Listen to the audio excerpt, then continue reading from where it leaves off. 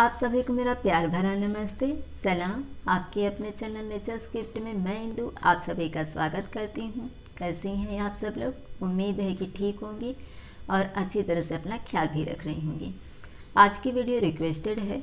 Delivery के बाद में अधिकांश महिलाओं की जो सबसे बड़ी समस्या होती है वो ये कि उनका जो न्यू बॉर्न बेबी है, वो ब्रेस्ट को सक करना नहीं जानता है। जबकि वही बेबी जो बॉटल होती है, उसे अच्छी तरह से सक कर लेता है। तो ऐसा क्यों होता है और क्या कुछ उपाय करके आप अपने बच्चे को ब्रेस्ट सक करना सिखा सकती हैं? आज के इस वीडियो में इसी टॉपिक पर जानकारी देने जा रही हूँ। तो चलिए फटाफट वीडियो स्टार्ट करते हैं।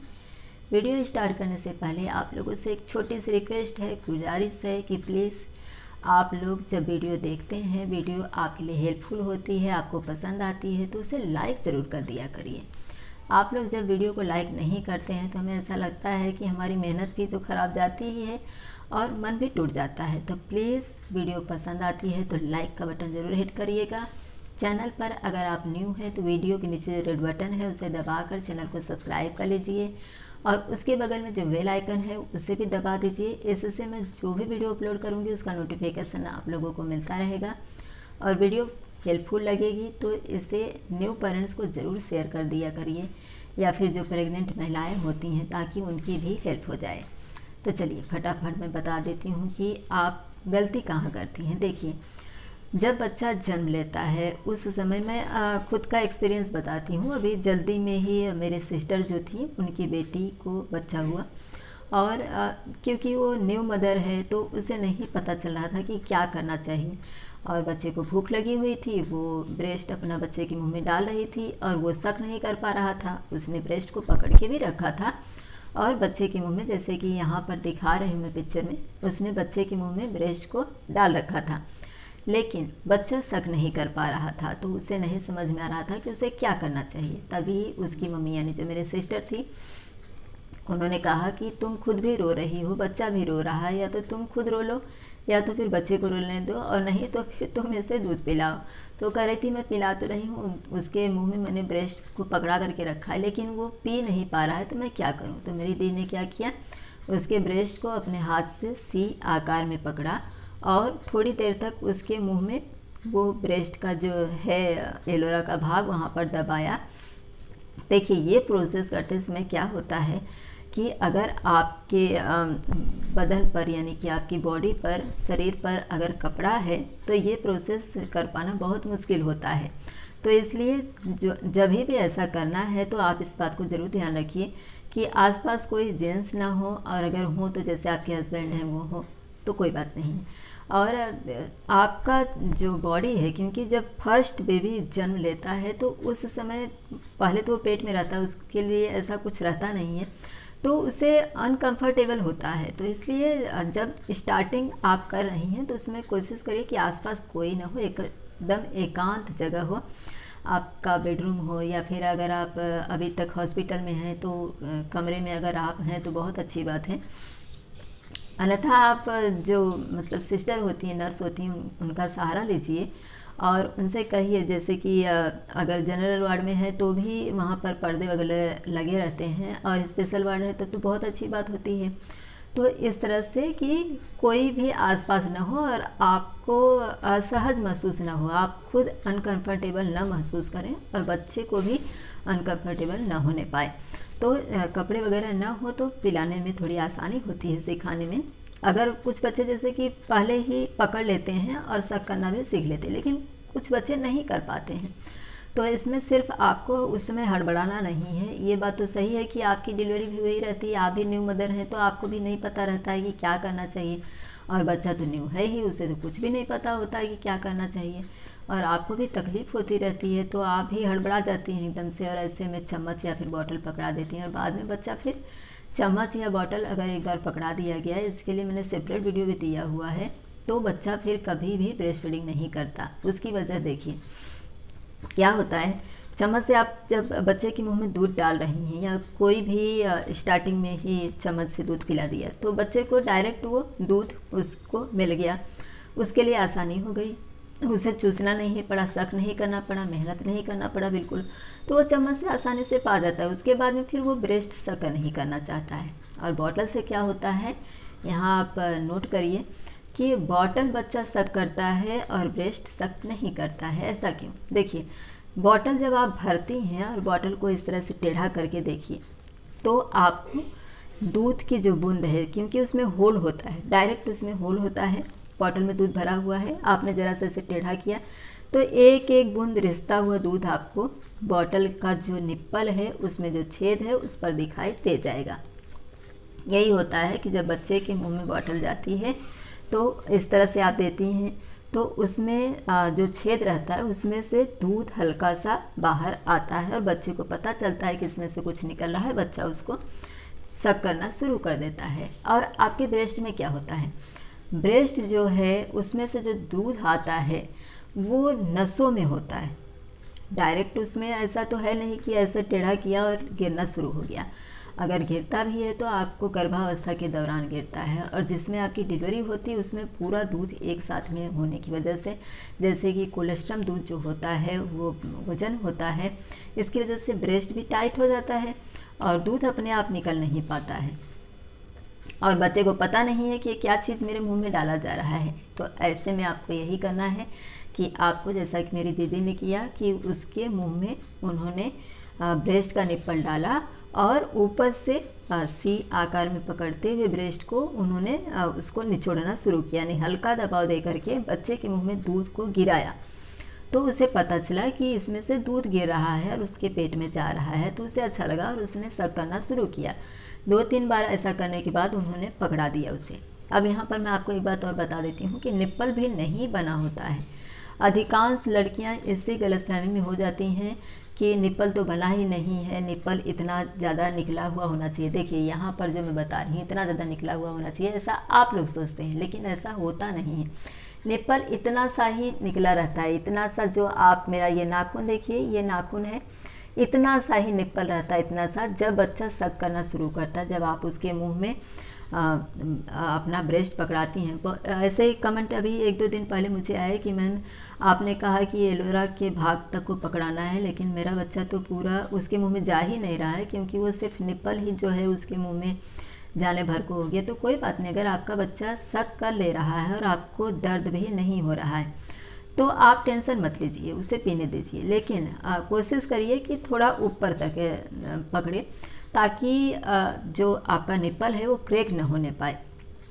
बच्चा जब निपल को सक करेगा तो निप्पल का जो स्किन होता है वो थोड़ा अलग होता है और जो बाकी ब्रश का स्किन होता है वो थोड़ा अलग होता है। यानी यहाँ पर का जो स्किन होता है वो थोड़ा सॉफ्ट होता है जबकि जो निप्पल की स्किन होती है थोड़ी सी कड़क होती थोड़ी सी कड़क होती है। तो इसलिए आप कोशिश करिए कि निप्पल के आगे तक बच्चा पकड़े। लेकिन अगर बच्चे के मुँह में निप्पल है और बच्चा इसी तरह से सक कर रहा है, उसे कोई तकलीफ़ नहीं है तो आप करने दीजिए, कोई बात नहीं।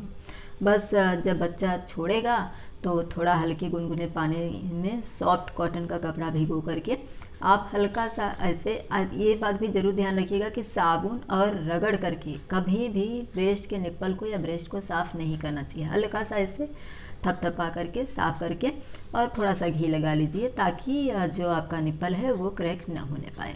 ठीक है? तो जो मैंने कहा कि बार बार आपको एक ही प्रोसेस करना है, जब ही भी आप ऐसा मत सोचिए कि आपने एक बार उसे सिखा दिया। जैसा कि मेरी दी ने किया, उन्होंने उसे जब ब्रेस्ट को मुँह में डाल करके हल्का सा निचोड़ा, उसके मुँह में दूध गया तो उसके बाद उसने उसको पकड़ा दिया। यानी मेरी दी ने उसको ब्रेस्ट पकड़ा दिया मुँह में। और निचोड़ना बंद किया तो बच्चा धीरे धीरे पीने लगा क्योंकि उसको पता चल गया कि इसमें से मुझे दूध मिल रहा है। और फिर वो पीने लगा अच्छी तरह से। दोबारा उनको सिखाने की ज़रूरत नहीं पड़ी। लेकिन कुछ बच्चों को हर बार जब भी आप ब्रेस्ट फीडिंग कराने के लिए बैठ रही हैं, वो भूल जाते हैं कि उन्होंने पहले क्या किया था। अब यहाँ पर मैं अपनी भाभी के बच्चे की बात बता दूँ तो वो अच्छी तरह से सक करता था, दूध अच्छी तरह से पीता था, सब कुछ। और एक दिन वो सोई हुई थी, उसने अपना ब्रेस्ट ऐसे ही खोल दिया था कि बच्चा पिएगा, वो खेल रहा है, वो थकी हुई थी, सो गई। तो वो उसके पैर की जो उंगली थी, उसको पीने लगा, क्योंकि उसे खुद को ध्यान नहीं था, जबकि ये बच्चा जो है, वो आठ नौ महीने का हो चुका था। तो जो अभी न्यू बॉर्न बेबी है, उसको कैसे ध्यान रहेगा? कुछ बच्चे भूल जाते हैं तो आपको इसमें इतना ही करना है कि जब भी आप ब्रेस्ट पकड़ा रही हैं, आपने देखा कि बच्चा सक करना भूल गया है। तो फिर आप उसको वही प्रोसेस करके दीजिए। थोड़ा सा निप्पल उसके मुँह में डालिए और ऊपर से आप खुद अपने हाथों के ज़रिए दबा करके उसके मुँह में दूध गिरने दीजिए। एक दो बार जब मुँह में दूध गिरेगा तो उसको पता चल जाएगा कि दूध आ रहा है। तो करके ऐसे चूसना सक करना शुरू कर देगा और दूध आता रहेगा तो उससे फिर नहीं भूलेगा। चार छः दस बार ऐसा करेंगी आप तो फिर वो डेफिनेटली सीख लेगा। लेकिन सिखाना अधिकांश बच्चों को ज़रूर पड़ता है। तो आप इस बात को ज़रूर ध्यान रखिए कि बच्चा अभी अभी इस दुनिया में आया है, थोड़ा पेशेंस रखने की आपको ज़रूरत होती है। ये तो मैं खुद भी जानती हूँ कि जब महिलाओं की डिलीवरी होती है तो वो खुद शारीरिक तकलीफ़ में होती हैं, चाहे नॉर्मल डिलीवरी हो, चाहे सीजरियन डिलीवरी हो, दोनों में ही तकलीफ़ होती ही होती है। बहुत दर्द रहता है शरीर में, खुद को संभालने को ही नहीं उतनी समझ होती है, बच्चे को समझाने की, संभालने की ज़रूर जो समझ होती है, वो भी नहीं होती है हमारे अंदर। जब पहली डिलीवरी होती है, कुछ समझ में नहीं आता क्या करना चाहिए। तो ऐसे में थोड़ा अगर आपको ये वीडियो मिल जाता है, इसे देखिए, समझिए, थोड़ा धैर्य रखिए। तुरंत ही बॉटल न पकड़ा दें। बॉटल से क्यों बच्चा सा करता है, मैं बता चुकी हूँ। थोड़ा बॉटल के मुँह पर दूध आता है, उसे पता चल जाता है। और जब बॉटल से बच्चा दूध पीने लगता है तो आपके ब्रेस्ट के पास में आप खुद सोचिए कि आपकी गोद में है बच्चा, और बच्चा जो मतलब ब्रेस्ट फीडिंग कर रहा है, वो आपकी गोद में है, और वही बच्चा। जब बॉटल पा रहा है तो उसके आसपास कोई चीज़ नहीं सिर्फ़ बॉटल है ऐसे, और बच्चा आराम से सक कर रहा है। जबकि यहाँ पर उसे थोड़ा घुटन महसूस होने लगती है, क्योंकि उसे तो पहले से ही अच्छा फ्री बॉटल आपने पकड़ा दिया, या फिर किसी अन्य घर के मेंबर ने पकड़ा दिया तो उसे फिर नहीं होता है करने के लिए। अच्छा इसमें एक क्वेश्चन और आया था कि डॉक्टर ने मना किया है इन्हें कि आप बॉटल से बच्चे को दूध मत दीजिए। तो मैं कब तक चम्मच से दूध पिलाऊँ? देखिए, अगर आप ब्रेस्ट फीडिंग करा रही हैं, आपको ब्रेस्ट मिल्क है, किसी कारणवश अगर आपने चम्मच दिया है बच्चे को कि शुरुआत में बच्चा नहीं सकर पाया, तुरंत उसे दूध देना ज़रूरी था, इसलिए आपने चम्मच से दिया। कोई बात नहीं। अगर बॉटल जैसे कि बच्चा नहीं सक कर पा रहा है, किसी भी कंडीशन में आपके लिए कोई ऑप्शन ही नहीं बचा है, तब आप बॉटल दे सकती हैं। लेकिन कोशिश करिए, ज़्यादातर अगर आप अपना ब्रेस्ट फीडिंग मतलब ब्रेस्ट मिल्क बच्चे को दे रही हैं तो आप ब्रेस्ट के ही ज़रिए दें बॉटल न पकड़ाएँ। लेकिन अगर आपके लिए ऐसा है कि जैसे बहुत जन को दूध होता ही नहीं, कोई भी उपाय कर लो, दूध उनको नहीं हो पाता है। तो ऐसे में क्या करेंगी? कितनी देर तक आप चम्मच से पिलाएँगी? ऐसे में बच्चे का पेट नहीं भरेगा। तब आप बॉटल दीजिए। लेकिन बॉटल का एक लिमिट रखिए। यानी कि जैसे एक साल तक तो बच्चे को दूध बेहद ज़रूरी है। एक साल के बाद में दो साल का बच्चा हुआ, दो साल के लास्ट आने तक आपको बच्चे का जो बॉटल का आदत है वो छुड़ा देना है। और कुछ बातों का ध्यान, जैसे कि मैंने इस पर एक सिंपल वीडियो दिया हुआ है बॉटल विथ जो ब्रेस्ट होता है, दोनों फीडिंग का क्या डिफरेंस होता है? क्या फ़ायदे और हानियाँ होती हैं? इसमें मैं थोड़े से मैं आपको बता दे रही हूँ कि बॉटल जो होता है, वो प्लास्टिक होता है। और प्लास्टिक ज़्यादा देर तक मुँह में रखना, बच्चे के सेहत के लिए भी अच्छा नहीं है। बच्चे के जो लिप्स होते हैं, उसका सेप जो है, वो बिगड़ जाता है। पहली बात। दूसरी बात, अगर दूध जो है बॉटल में का ख़त्म हो गया, आप ध्यान नहीं दे पाएँ तो बच्चे के मुँह में बहुत ज़्यादा एयर जाने की संभावना होती है।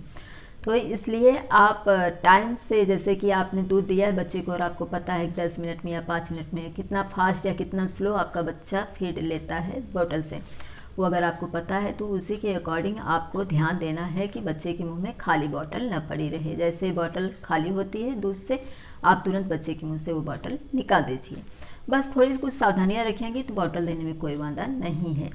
डॉक्टर अपनी तरफ़ से आपको इसीलिए कहते हैं ताकि आपके बच्चे की सुरक्षा हो सके और आपका जो ब्रेस्ट मिल्क है, जो कि बच्चे की सेहत के लिए बेहद ज़रूरी है, वो बच्चे को मिल सके। बस इतनी सी बात होती है। तो आई होप कि जो जानकारी मैंने इस वीडियो में दी है, इससे आपको यह समझने में ज़रूर आसानी हो जाएगी कि बच्चे को शक करना कैसे सिखाना है, बच्चा बॉटल क्यों शक करने लगता है और ब्रेस्ट को शक क्यों नहीं करता है। इसमें सावधानी आप ज़रूर रखिए कि जब भी स्टार्टिंग है, उसमें अपने बेडरूम में आप दूध पिलाएँ। जैसा कि मुझे बहुत से लोगों ने जब कमेंट किया तो मुझे पता चला कि जो है कि वो उन्होंने कपड़े पहन रखे थे, जिसकी वजह से बच्चा नहीं पी रहा था। क्या होता है? ब्रा तो फ़िलहाल पहना नहीं है। एक दो महीने तक आपको नहीं पहनना होता है, क्योंकि उससे आपके ब्रेस्ट की जो नसें होती हैं, वो संकुचित हो जाती हैं। तो इसलिए आप ऐसा न करें। और जब भी ब्रेस्ट फीडिंग कराना सिखा रहे हैं बच्चे को, यानी स्टार्टिंग है अभी तो कोशिश करिए कि आसपास लोग ना हो, ज़्यादा भीड़ ना हो, और जो टीवी वगैरह मोबाइल वगैरह की आवाज़ होती है, वो ना हो, शांति हो और आपका पूरा ध्यान जो है वो बच्चे के ऊपर हो। ऐसा नहीं दो चार लोग अगल बगल से बातचीत कर रहे हैं और बच्चे का आधा ध्यान उधर है या आपका आधा ध्यान उधर है, जिसकी वजह से आपका बच्चा, आपका ब्रेस्ट मिल्क जो है वो नहीं पा सका। आपका ब्रेस्ट मिल्क बच्चे के लिए बेहद ज़रूरी है, उसके अच्छे स्वास्थ्य के लिए बहुत ज़्यादा ज़रूरी है। तो इसलिए आप बच्चे को शक करना सिखाइए, तुरंत उसे बॉटल या फिर चम्मच न पकड़ा दें। इमरजेंसी जैसे ज़रूरी है, आपको डॉक्टर के पास जाना है, बच्चे को आप नहीं लेके जा सकती हैं, या फिर आपको ब्रेस्ट में जो है कि एकदम से टाइट हो गया है, बच्चा उसमें नहीं सक कर पा रहा है तो ऐसी कंडीशन में थोड़ा बहुत दूध आप हाथ से निकाल करके बच्चे को चम्मच से या बॉटल से दे सकती हैं। चम्मच से दीजिए बॉटल से जहाँ तक हो सके अवॉइड करिए। वीडियो पसंद आई होगी तो लाइक करिएगा। चैनल पर न्यू है तो चैनल को सब्सक्राइब और वीडियो को ज़्यादा से ज़्यादा शेयर ज़रूर कर दीजिएगा ताकि जो न्यू मदर होती हैं या प्रेग्नेंट महिलाएँ हैं, उनकी भी हेल्प हो जाए। इसी तरह के एक नए टॉपिक के साथ अगले वीडियो में फिर से मिलेंगे। वीडियो देखने के लिए आप सभी का धन्यवाद।